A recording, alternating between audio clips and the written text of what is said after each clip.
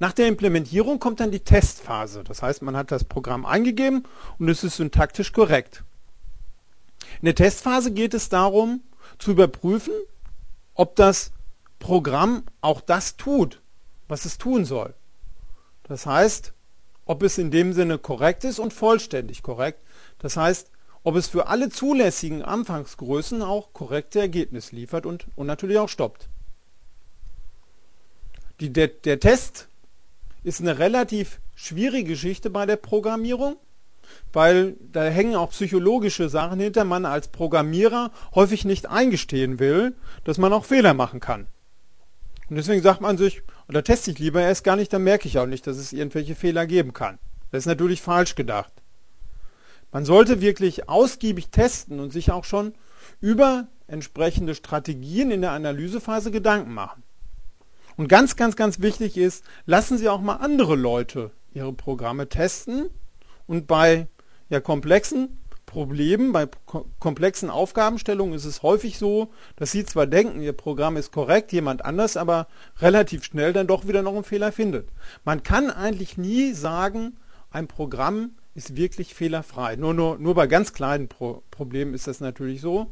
Häufig enthalten Programme doch noch Fehler. Deswegen gewöhnen Sie sich von Anfang an an, wirklich ausgiebig Ihre Programme zu testen. Wie testet man denn? Es gibt eine ganze Menge von Testverfahren und ich möchte nur eins hier kurz skizzieren. Testen gehört zur Softwareentwicklung und äh, ist nicht unbedingt Hauptbestandteil dieser Vorlesung. Was man machen kann, ist, man kann eine sogenannte Testmenge konstruieren.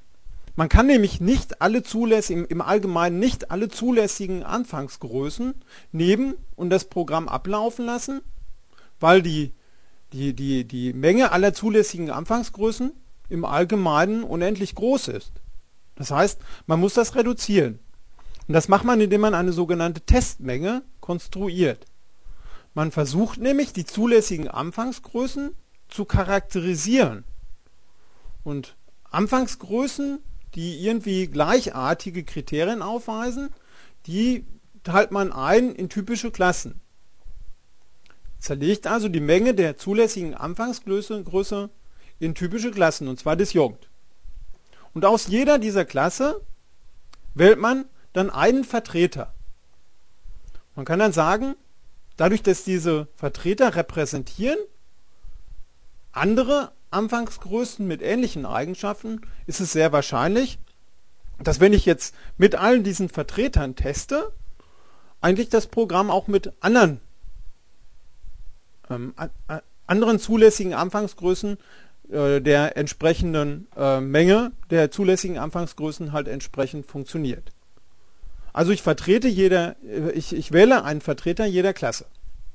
Ganz wichtig sind Grenzwerte beachten, das vergisst man häufig in der Programmierung hinterher mit Java werden wir sehen, Grenzwerte sind, man, wenn man, wenn, wenn Zahlen zulässig sind, vergisst man häufig null und hat dann irgendwann mal eine Division da drin, die Division durch null.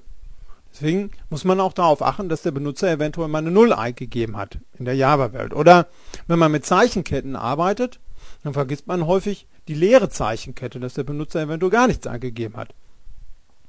Beim Hamster ist es genauso. Man vergisst eventuell, dass der Hamster eventuell schon vor dem Berg steht. Und äh, der Hamster donnert dann vor die Mauer. Im Allgemeinen steht er vielleicht nicht vor dem Berg, aber es kann durchaus so sein. Und, und, und. Man muss also solche Grenzwerte beachten und die halt entsprechend dann auch testen. Da muss man mit den Vertretern, das heißt mit der Testmenge, mit den Elementen der Testmenge, entsprechende Testläufe machen. Man muss sich aber nicht nur die Ergebnisse der Testläufe anschauen, sondern man sollte sich vorher schon das Ergebnis, das erwartete Ergebnis notieren. Und dann überprüfen, ob das, was letztendlich das Testlauf erbracht hat, auch übereinstimmt mit dem, was man erwartet hat. Aber ganz, ganz wichtig ist, wie beim Programmieren selbst, wie beim Entwurf selbst, Erfahrung und Intuition sind hier notwendig. Deswegen üben Sie einfach mal mit gegebenen Problemen und üben Sie insbesondere das Testen. Was sind mögliche Randwerke, Randwerte, Grenzwerte?